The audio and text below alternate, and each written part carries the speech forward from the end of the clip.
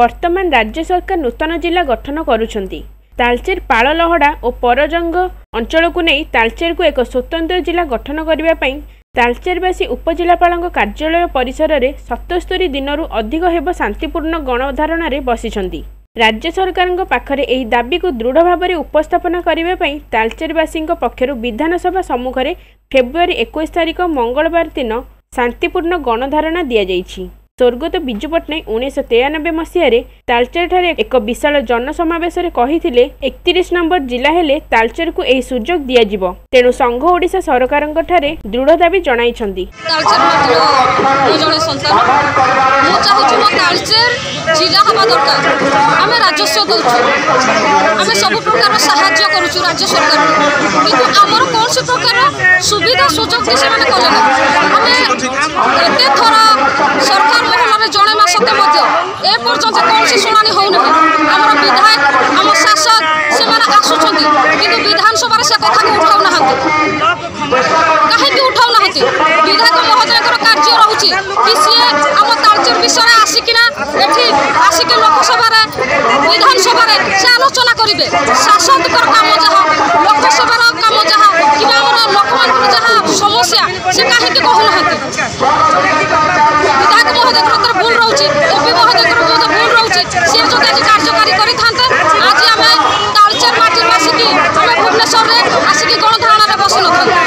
ସର୍ବୋଚ୍ଚ ରାଜସ୍ୱ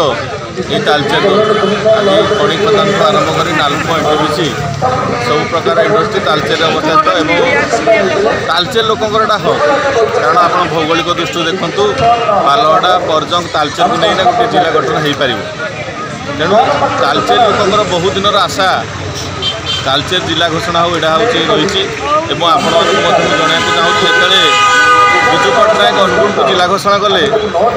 ସ୍ୱର୍ଗତ ବିଜୁ ପଟ୍ଟନାୟକ ସେତେବେଳେ ତାଲଚେର ଲୋକଙ୍କୁ ପ୍ରତିଶ୍ରୁତି ଦେଇଥିଲେ ଯେ ଆଗାମୀ ଦିନରେ ଯେଉଁ ନୂତନ ଜିଲ୍ଲା ଘୋଷଣା ହେବ ସେଥିରେ ତାଲଚେର ରହିବ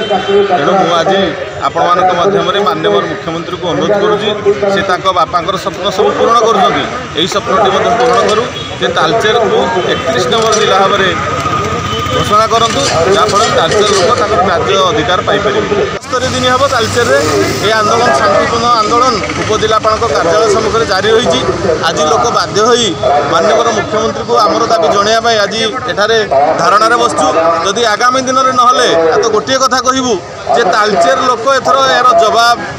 দেওয়া প্রস্তুত হলে তেমন তালচের লোক তাঁর অধিকার দেওয়া পড়ব ভুবনেশ্বর বিশ্বজিৎ দাস রিপোর্ট